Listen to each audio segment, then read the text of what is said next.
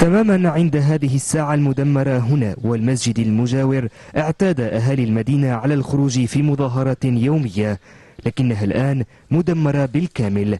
مجرد الوصول إلى هذه الساحة يعتبر ضربا من الجنون.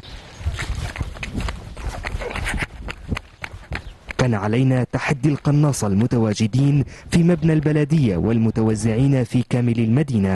يمكننا رؤية مبنى البلدية من هنا بشكل واضح.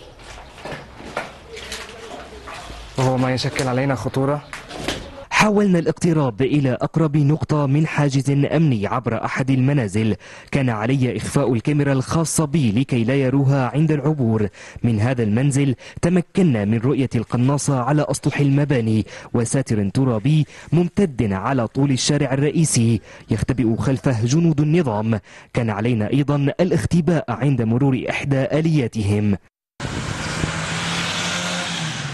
لكن هذا التواجد الكثيف للحواجز الأمنية والعسكرية لا يمنع عناصر الجيش الحر من التجوال في المدينة وهم ملتزمون بالمقابل بوقف إطلاق النار تنفيذا لمبادرة المبعوث العربي والأممي كوفي أنان.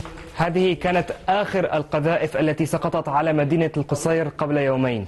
يعلم الأهالي جيدا أنها لن تكون القذيفة الأخيرة التي تطالهم وعلى الرغم من ذلك هم مستعدون لتقديم المزيد.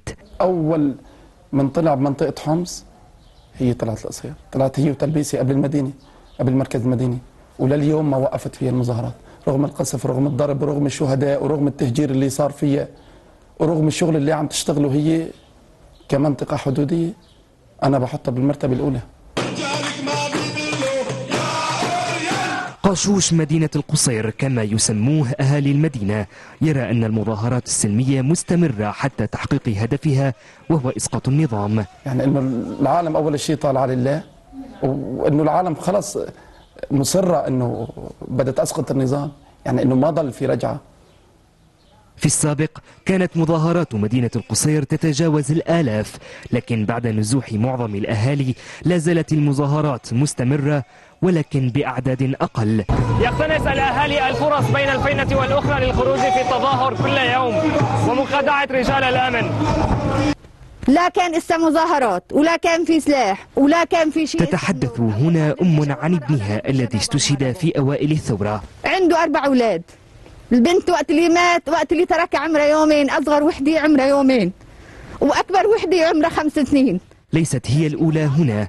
تحوي هذه التربة عشرات الشهداء الذين تم دفنهم هنا بعد أن تعثر على الأهالي دفنهم في المقبرة الرئيسية. ذلك بسبب قربها من مركز للأمن العسكري. وجدنا عند هذه التربة أم لشهيد آخر قدمته مدينة القصير. امتنعت عن إظهار وجهها أمام عدسات الكاميرات خوفا على إخوته المناهضين كذلك لحكم بشار الأسد. لتلفزيون أورينت نيوز إبراهيم مهنا مدينة القصير من حمص.